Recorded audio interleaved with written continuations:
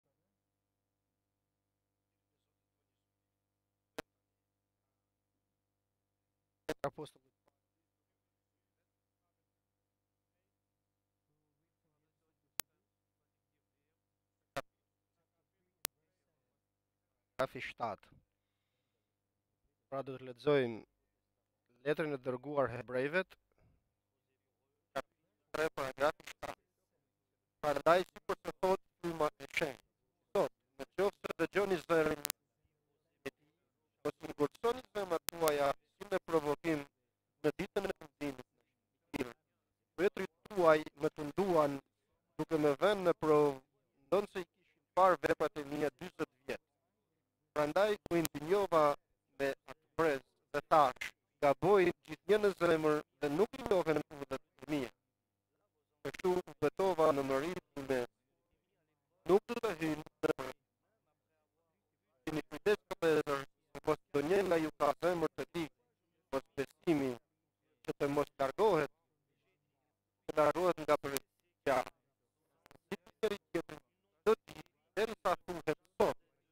të mos ngurtësohet ndonjë nga ju prej mashtrimit të mëkatit, sepse ne jemi bërë pjesëtarë të Krishtit në qoftë se do ta ruajmë të palëkundur deri në fund fillimin e besimit. Kur thuhet sot, në qoftë se dëgjoni zërin e tij, mos jini zemërgur si në ditën e kryengritjes. Kush janë ata që mbasi e dëgjuan, e provokuan? A thua jo të gjithë ata që qenë ata me të cilët u zemërua për 40 vjet? A s'qenë vallë ata që mëkatuan, kufomat e të cilëve ranë nëpër shkretëtirë dhe për cilët bëri be hynin në prehjen e tij, veçse për ata që qenë të pabindur, ne shohim se ata nuk mundën të hyjnë për shkak të mosbesimit. Prandaj përderisa mbetet akoma një premtim për të hyrë në prehjen e tij, le të kemi frikë se mos ndonjë nga ju të mbetet jashtë. Në fakt neve, si edhe atyre, u ishte shpallur lajmi i mirë, por fjala e predikimit nuk u dha dobi fare, sepse nuk qe e bashkuar me besimin tek ata që e dëgjuan. Sepse ne që besuam, hyjmë në prehje, siç tha ai, kështu u përbetova në mërinë time, nuk do të hyjnë në prehjen time, ndonëse veprat e tij mbaruan që kur se u krijua bota.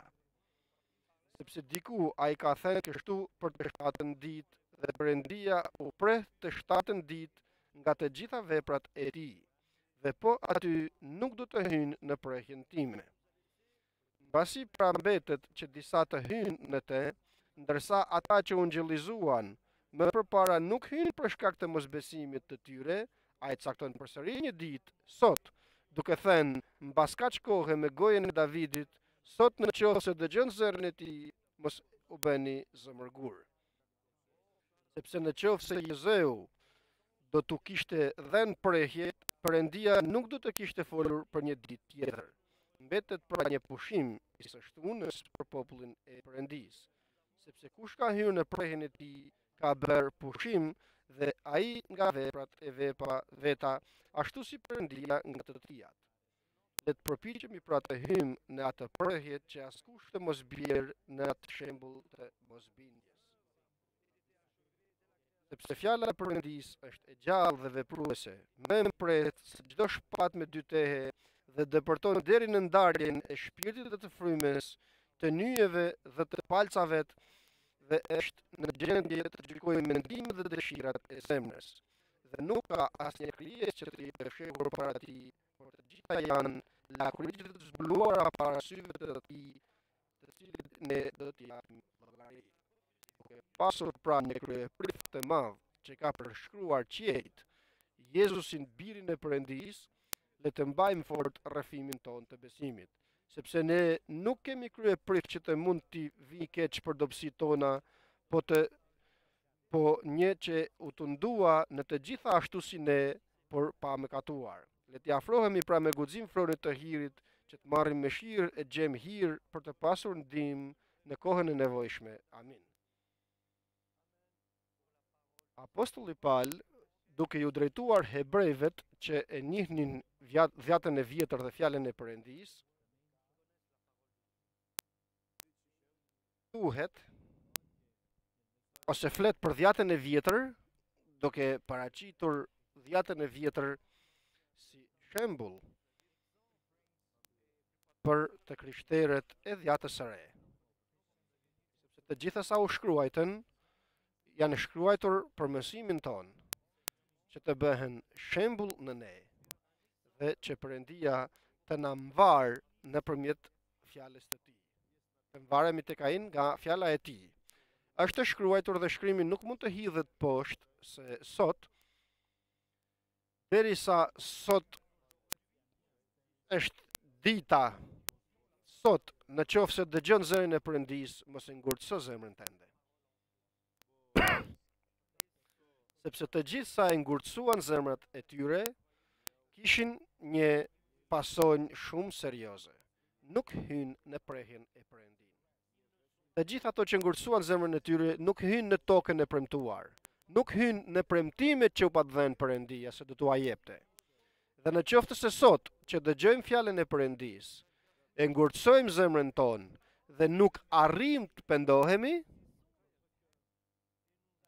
humbim prehjen tonë, domethënë bekimin, domethënë e humbim premtimin e Perëndisë, edhe këtu në tokë, në këtë jetë, derisa të rrëmbehet kisha, por edhe përfundimisht në rrëmbimin e kishës. Sa serioze është vëllezër dhe motra kur dëgjojmë fjalën e Perëndisë, që të mos e gjykojmë atë, të mos e mohojmë fjalën e Perëndisë. por të themi po Zot. Amin fjalës tënde. Mua më kontrollon, mua më ndreq ose mua më flet. Dhe do të themi se mua më flet Perëndia vetëm kur përpara se të vijmë të pastrojmë zemrën tonë duke u penduar. Pendohemi dhe kthehemi tek Perëndia dhe i kërkojmë Perëndisë O Zot Perëndia im, erdha të pres Jezu Krishtin që të më flasë. Por në qoftë se vjen në kishë me një zemër të prishur, çfarëdo që të dëgjosh, e cila nuk të pëlqen, atëherë do të bëjë që të ngurtësohet zemra jote dhe si rezultat të largohet dhënia e mirë e Perëndisë prej tejet. premtimet e Perëndisë dhe prehja që të jep që ka përcaktuar Perëndia për ty, atëherë do të largohet. E shqelmojmë vetë dhe e ndjekim. Dhe nëse nuk arrijmë deri në atë ditë që do të dëgjohet boria e Perëndisë, atëherë as dhe nuk do të hyjmë në mbretërinë e qiellit. Vëllezër dhe motra, sot na thërret Perëndia të pendohemi. Në qoftë se në zemrën tonë ka ndonjë hidhërim kundër ndokujt, kundër gjendjevet, kundër Perëndisë, të pendohemi sepse do të humbasim qetësinë ose prehjen tonë në Perëndinë. Do ta humbësh, do ta humbi nëse nuk pendohem. Nuk do të mundem t'i shijoj ato gjëra të mira që ka përgaditur Perëndia për të gjithë ne. Dhe është krim t'i humbim. Sot që dëgjojmë zërin e Perëndisë, të mos e ngurtësojmë zemrën tonë, por të pendohemi dhe të themi, o Zot, mua ma thua, të lutem më fal, fali të gjithë, mos i gjyko njerëzit, sepse do të gjykohesh edhe ti.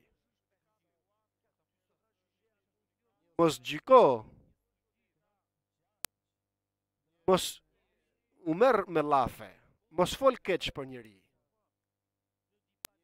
Mos u bëj që të mbjellësh fjalë të këqija, sepse nga zemra dalin fjalët e gojës sonë.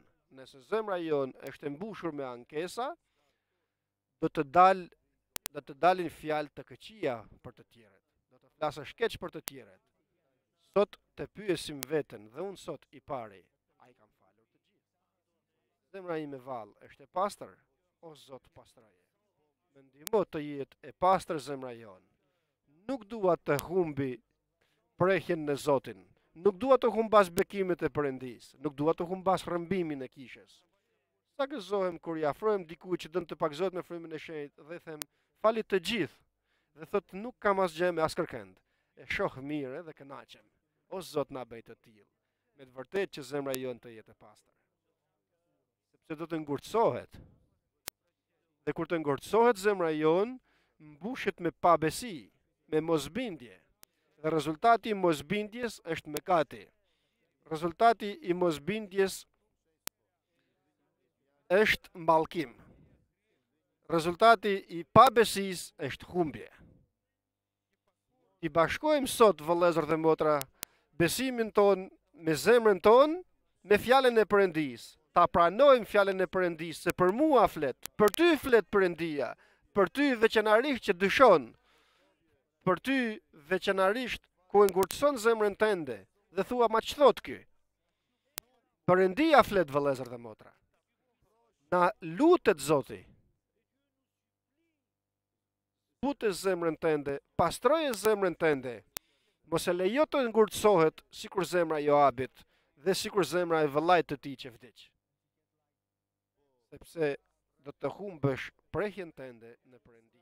Do të humbasësh bekimin e Perëndisë. Do të humbësh lavdinë e Perëndisë. Do të humbasësh të gjitha të mirat sa ka përgatitur Perëndia për ty. Dhe ç'do të thotë kjo, kjo do të thotë se Perëndia ka plane të mira për ty.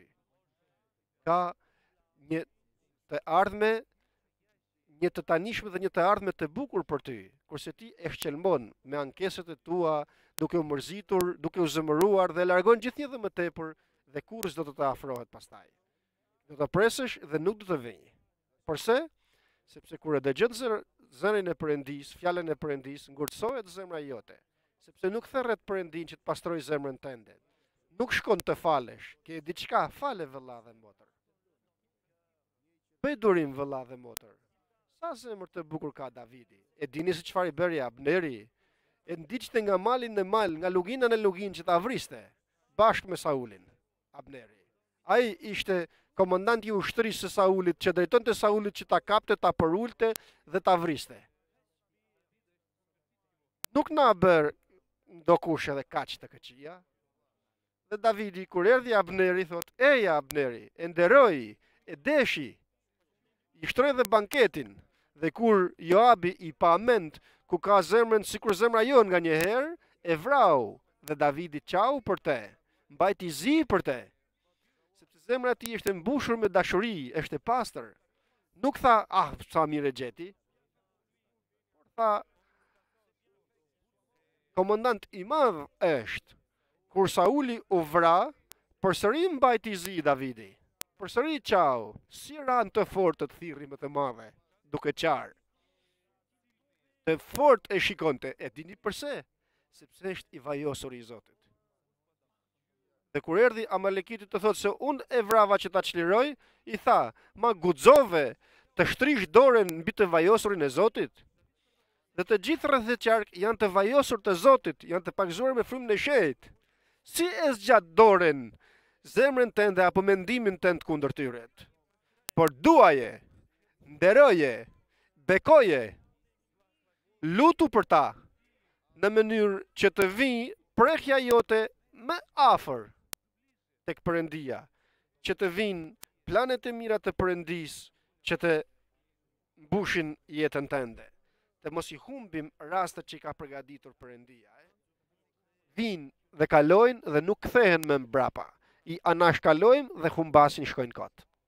Sot që dëgjojmë zërin e Perëndisë, të mos e ngurtësojmë zemrën tonë, mos të gërsohemi vëllëzër dhe motra, të mos mërzitemi, por fal, fali dhe prit të veprojë Perëndia, të pendohet dhe të shpëtohet, sepse duam, sikurse Krishti don, që të shpëtohen të gjithë njerëzit, nuk duam, ma mos ndodh që mos ta duam një gjë të tillë. Dhe cila është e keqja që na largon nga Perëndia? Është zemra e ligë dhe pabesuese. Jo vetëm që nuk beson, por edhe zemër e ligë. Pabesia jonë na drejton në ligësi, ligësia jonë na drejton në mosbesim. Dhe pastaj shkojmë drejt largimit. Mos u bëj i lig vëlla dhe motër. Mos shiko me mashtrime. E din se ç'bëri ai tjetri, ma nuk dua t'ia di. Zoti ta bekojë për çfarëdo që ka bërë. Unë e di se çfarë bëj unë dhe pendohem për ato që bëj.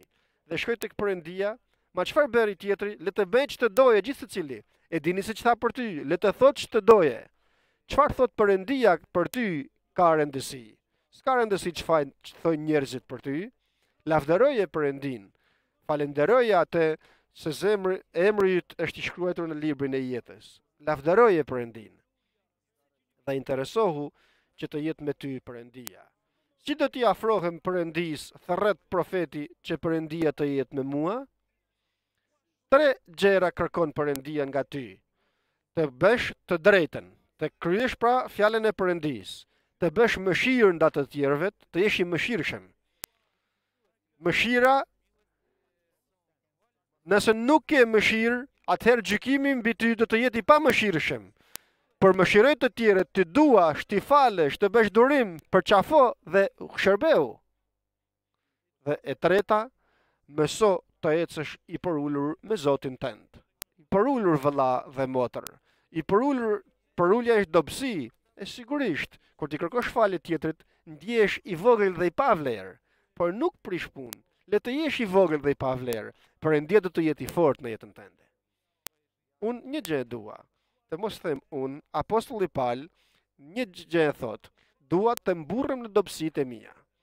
Ma në dobësitë e tua mburresh, e sigurisht, sepse aq sa të jem i dobët, kaq më shumë është i fortë Perëndia në mua.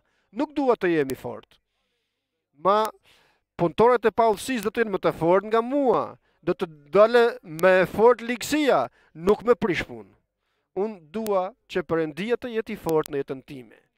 dua prehjen, qetësinë që ka interesuar Perëndia për mua.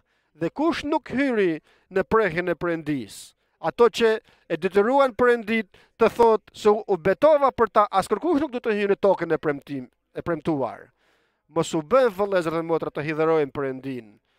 Dhe jo të hidhërojmë Perëndinë, por Perëndinë ta lavdërojmë, ta bëjmë të gëzohet, të thotë, "Eja shërbëtor i mirë dhe besnik." Të kënaqet Perëndia tek ti, jo të hidhërohet Perëndia tek ti. Të gëzohet Perëndia. Amin vëllezër dhe motra. Dhe nuk gëzohemi vëllezër dhe motra me flijimet, me ofertat, me, me vajrat apo me uthullat. Nuk gëzohet Perëndia të zgjohesh, të rrish gjithë natën në lutje ku mirë është, por nuk gëzohet vetëm me kaq. Gëzohet kur kryen të drejtën, kur bën mëshirë dhe kur të ecësh i përulur me Zotin tënd. Këtë e bën të gëzuar Perëndinë. Populli i Izraelit e hidhëroi Perëndinë, Askërkush prej tyre nuk hyri në prehjen që Perëndia kishte përgatitur tek toka që rrjedh dhe qumësht dhe mjaltë, asnjë nga ato që e gjykonin që e tundonin që e provonin Perëndinë. Përse? Sepse nuk besuan. Dhe pabesia e tyre arritën të mëkatojnë dhe ato që mëkatojnë janë jashtë prehjes së Perëndisë dhe jashtë bekimit të Perëndisë. Pabesia e tyre i drejtoi në mosbindje dhe janë jashtë prehjes të Perëndisë. Jashtë, larg. Dhe Perëndia thotë, nuk pushoi prehja sepse shumë më vonë Davidi thotë, në qoftë se sot e dëgjon zërin e Zotit, mos e ngurtëso zemrën tënde që ta hidhërosh përsëri Zotin. Edhe ne vëllezër dhe motra kemi prehjet tona personale, bekimin tonë në familjen tonë, bekimin në jetën tonë, bekimin në kishën në të cilën na ka vënë Zoti. Kemi premtime ku duhet që t'i fitojmë. Kur u fut populli i Izraelit thotë shkoni, merrni të gjitha, të tuajat janë. I gjithë toka i vendi i Izraelit janë të tuajat. Shkoni dhe po dhe merrini. Edhe ne sot na thotë të gjitha bekimet janë për ju. Sot shkoni merrni ç'të doni. Të tuajat janë të gjitha, gjithçka dhe të gjitha janë për ju. Të gjitha për ne janë vëllezër dhe motra, të dhuruara. Dhuratë na i bëri. Nuk don Perëndia të bëjmë diçka tjetër për te. Nuk don të forcën tënde apo fuqinë tënde, por don dobësinë tënde. në dobësinë tënde mundet Perëndia të veprojë. U bëmë pjesëtarë të Krishtit, e din ç'do të thotë të jesh pjesëtar me Krishtin. Që Krishti të banojë në ty dhe ti të banosh në Krishtit, je pjesë e trupit të Krishtit. Krishti të thotë shërbëtori im, miku im, i dashuri im, por do të qëndrosh pjesëtar i Krishtit nëse do të mbash deri në fund besimin tënd fillimtar. Fillestar. Aq sa quhet aq derisa thuhet sot, që të mos ngurtësosh zemrën tënde. Domethënë, deri me rrëmbimin e kishës e kemi rastin që të ndreqim zemrën tonë. që të pendohemi dhe të ecim nga prehja në prehje, të ecim nga lavdia në lavdi dhe nga bekimi në bekim. Të gjitha janë të tuat, një jetë në praninë e Perëndisë, një jetë në bekimin e Perëndisë, një jetë në lavdinë e Perëndisë, mos u grind dhe t'i humbësh të gjitha. më falni për tonin që jap, mos u anko. Është krim, është mëkat, nuk e don Perëndia. Të ketë përgatitur gjëra të mira, kurse ti të hash gjëra të hidhura. Përse? Përse je një dru i shtrembur përpara syve të Perëndisë? Përse? Përse nuk i ngjan Atit tënd qiellor? Përse nuk i kërkon Perëndisë të të dhurojë një zemër sipas zemrës të tij? Të kesh një zemër të mirë, ku të kryesh gjithë vullnetin e Perëndisë? Përse të drejtohesh nga një zemër e pavlerë? hidhëruar që e mërzit frymën e shenjtë. Le të kemi frikë pra thirr thërret fjala e Perëndisë se mos vallë ndërsa është premtimi që të hyjmë në prehjen e Perëndisë do të dalë ndokush nga ne dhe t'i mungojë kjo prehje. E kuptoni se ç'na thotë Perëndia sot vëllezër dhe motra. Rrezikohet të humbasësh bekimet dhe prehjen tënde tek Perëndia, në qoftë se nuk do të ndreqësh zemrën tënde, rrezikohesh. Nëse nuk ndreqim zemrën tonë çdo ditë,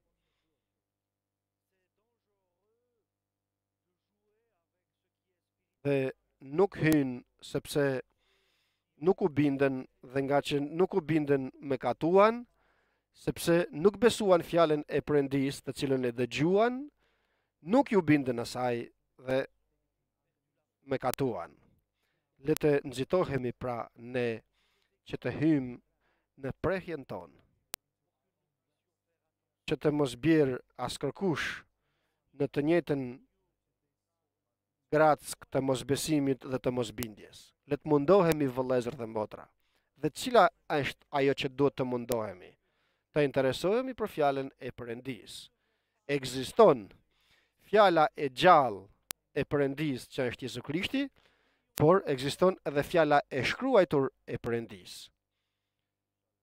Fjala e gjallë e ardhur në mish është forca e Perëndisë dhe dituria e Perëndisë. Është fjala e Perëndisë, është fjala e gjallë. Afrohuju. Afroju asaj. Do të jetë forcë e Perëndisë, mençuri e Perëndisë për ty fjala e tij. Don me të vërtetë, sikurse thotë fjala e Perëndisë tek letra drejtuar Korintasve, që të kesh forcën e Perëndisë dhe të kesh mençurinë e Perëndisë vetëm nëpërmjet Jezu Krishtit. Vetëm me fjalën e gjallë të ardhur në mish, që është Jezu Krishti i ringjallur. dhe ekziston edhe fjala e shkruajtur e Perëndisë. Edhe kjo është e gjallë, edhe kjo na zbulon dhe kjo është shumë serioze. Na jep zbulesë në karakterin që ka ati jonë Perëndi dhe karakterin e Jezu Krishtit. Na zbulon drejtësinë e Perëndisë. Ungjilli i Jezu Krishtit është fjala e Perëndisë, është forcë e Perëndisë që shpëton këdo që beson dhe i zbulon drejtësinë e Perëndisë që të kryesh të drejtën. Si do të nxitojmë pra që të hyjmë në prehjen e Perëndisë, të mos e humbim bekimin e tij, duke iu afruar Perëndisë me anë të shenjtërimit tonë. Jo sikur Joabi me ligësi në zemrën e tij, me dëshirë të hakmarrjes, me mëkatin e tij dhe drejt humbjes. Po bëre kështu, mbarove, je i mbaruar. Në qoftë se i afrohesh Perëndisë, sikurse i afrohej Joabi. Dhe më saktë, nëse iu afrohej, iu afrohesh njerëzve sikur Joabi. Sikurse Joabi iu afrua Davidit, sikur Joabi iu afrua Abnerit, sikurse jo, Joabi iu afrua popullit të Perëndisë. I mbaruar do të jesh, jo tani, por kur të vendosë Perëndia, sepse kohërat janë në duart e Perëndisë. Sot, vëllezër dhe motra, fjala e Perëndisë na thotë qartë, ki kujdes të mos jesh i mbaruar, por të jesh i bekuar. Dhe kjo mvaret nga ti. Sot në mes nesh janë të mbaruar, por ka edhe të bekuar. Vallë ti ku je? Por ekziston edhe rasti të pendohemi dhe të bëhemi të gjithë të bekuar. Të gjithë. Të gjithë. Pa përjashtuar askënd. Të gjithë o Zot. Ruaj e zemrën tende. Ruaj të fshehtat e zemrës tënde. Ato gjëra që thua me tjetrin apo vetë me zemrën tënde që diskuton, sepse nga tepricat e zemrës flet goja. Ruaje zemrën tënde sepse fjala e Perëndisë e shkruajtur, fjala e gjallë e ringjallur është forcë e Perëndisë dhe mençuri e Perëndisë. Fjala e Perëndisë e shkruajtur është forca e Perëndisë që shpëton këdo që beson në te, sepse është vepruese fjala e Perëndisë, vepron në mes të atyre që besojnë. është e gjallë, të flet fjala e Perëndisë, e hap fjalën e Perëndisë dhe të flet fjala e Perëndisë. Dhe është edhe më prerëse se çdo shpatë me dy tehe dhe depërton deri në ndarjen e shpirtit dhe të frymës. I ndan dëshirat e zemrës nga mendimet e mendjes. Fjala e Perëndisë thotë, këto gjëra dëshiron, nuk i don Perëndia këto që don. Këto gjëra mendon, këto nuk i don Perëndia që mendon. Nuk janë këshillat e mia sipas këshillave tuaja. Udhët e mia nuk janë sipas udhëve tuaja. Mendimet e tua nuk janë sipas mendimeve të mia. Vullneti yt nuk është vullneti im, thotë Zoti. Je i mbaruar ose je e mbaruar nëse do të ndjekësh mendimin tënd, vullnetin tënd, hidhërimet e tua, grindjet e tua, atëherë je i mbaruar. Por kemi kohë. Sot, sot që dëgjojmë fjalën e Perëndisë, të mos ngurtësojmë zemrën time, tonë dhe të pendohemi. Fjala e Perëndisë arrin të ndajë nyjet nga palca, dëshirat e mishit. Fjala e Perëndisë është e plotfuqishme dhe askërkush nuk i fshehet. Atij. Kur të predikohet fjala e Perëndisë, ta dish se nuk fshehesh dot. Futet fjala e Perëndisë në zemrën tënde dhe në shpirtin tënd, të zbulon, të shfaq, të kontrollon, të këshillon, të përforcon, të ndreq. Kjo është fjala e Perëndisë. Kjo fjalë e Perëndisë dëgjohet, ajo që hyn brenda tejet dhe të bën që të djegë zemra jote kur ta dëgjosh. Vetëm në qoftë se zemra jote është e djegur edhe ndërgjegjja jote dhe zemra jote dhe të mos kuptosh asgjë, për shkak të pabesisë, të mëkatit dhe të mosbindjes. dhe fshehesh pas gënjeshtresh dhe vend bën vendqëndrim gënjeshtrën dhe shfajësohesh, mundohesh të shfajësosh veten, tek ty, fjala e Perëndisë nuk mund të bëjë asgjë. Nuk vepron në ty. Nuk është e gjallë, nuk është më prerëse se shpata me dy tehe.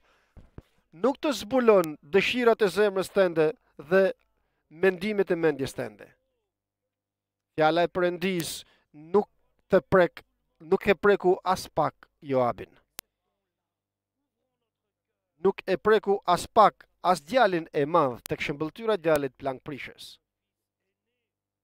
Fjala e Perëndisë don të ketë të më prek në mënyrë serioze, dua të më drejtojë, dua të më kontrollojë, dua të më ndreqë, dua që të vejë zjarr në zemrën time. Dua të jetë fjalë e Perëndisë, e mbushur me forcën e frymës të shenjtë.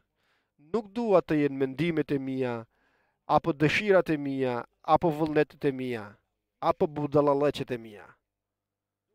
në qoftë se fjala e Perëndisë vepron kështu në jetën tënde, atëherë fjala e Perëndisë na zbulon dhe na thotë se kemi një kryeprift të madh. Nuk je vetëm, ke një kryeprift të madh që lutet për ty. Kryeprift që erdhi nga qiejt, Jezu Krishti, biri i Perëndisë, Për këtë arsye, le ta mbajmë të gjallë rrëfimin tonë se Jezu Krishti është Zoti ynë dhe Perëndia ynë. Kur u hapen sytë e Thomait dhe i tha, i tha, Thoma, shikoji duart e mia dhe këmbët e mia, dhe thirri me të madhe, Zoti im dhe Perëndia im. Thirr dhe ti sot. Kush të flet, Zoti yt dhe Perëndia yt. Mos shiko një njeri, asgjë, më i keq nga ti është ai që të flet tani. Nëse shikon njeriun, por të shohësh fjalën e Perëndisë, vëlla dhe motër. Fjala e Perëndisë është ajo që do të na drejtojë tek kryeprifti i madh që doli në qiej dhe ndërmjetëson për ne. Them dhe një herë tjetër, mos e shikoni njeriun, është i mbushur me dobësi njeriu, po shikoni fjalën e Perëndisë që është forca e Perëndisë që shpëton këdo që e beson. të pranojmë fjalën e Perëndisë si fjalë Perëndie siç është. Ta pranojmë të duam që të na flasë fjala e gjallë e Perëndisë. Të duam të na prekë, të duam të na japë mençuri, të na japë forcën e tij. Atëherë, mundemi që të hyjmë me anë të gjakut të Jezu Krishtit dhe nëpërmjet frymës të shenjtë tek froni i hirit të Perëndisë. Mundesh? Mvaret nga zemra jote nëse mundesh apo jo. Mvaret se si e pranon fjalën e Perëndisë. Mbase dëshiron, por nuk e di nëse do të mundesh. por do të mundesh që të hysh vetëm të hysh tek froni i hirit të Perëndisë që të marrësh mëshirë dhe të gjesh hir për ditën tënde të nesërme. Nëse nuk mundesh, e humbe prehjen tënde me Zotin. Dhe nuk mundesh nëse zemra jote nuk është e pastër. Për këtë arsye, vetëm me gjakun e Krishtit që na pastron nga çdo mëkat, vetëm me forcën e frymës të shenjtë mund të hyjmë në fronin e hirit të Perëndisë. Është e tmerrshme të duash të hysh, por të mos mundesh. E tmerrshme është. që të mundemi, duhet të pendohemi sot vëllezër e motra me gjithë zemrën tonë. Të falim. Të bëjmë durim. T'i anashkalojmë të gjitha ato që na pengojnë dhe të kthejmë shikimin tonë vetëm tek Zoti jonë Jezu Krisht, që është dhe tek fjala e Perëndisë, të kthejmë shikimin tonë në fjalën e Perëndisë që është forca e Perëndisë që shpëton këdo që zbulon. Tek fjala e Perëndisë që na jep forcë të ecim në te. Tani është koha e përshtatshme, tani është dita e pështimit, shpëtimit. Nëse sot dëgjon zërin e frymës të shenjtë, mos e ngurtëso zemrën tënde. Sikurse gjykuan atëherë dhe lanë kockat e tyre në shkretëtirë. Ne duam të hyjmë në mënyrë të pasur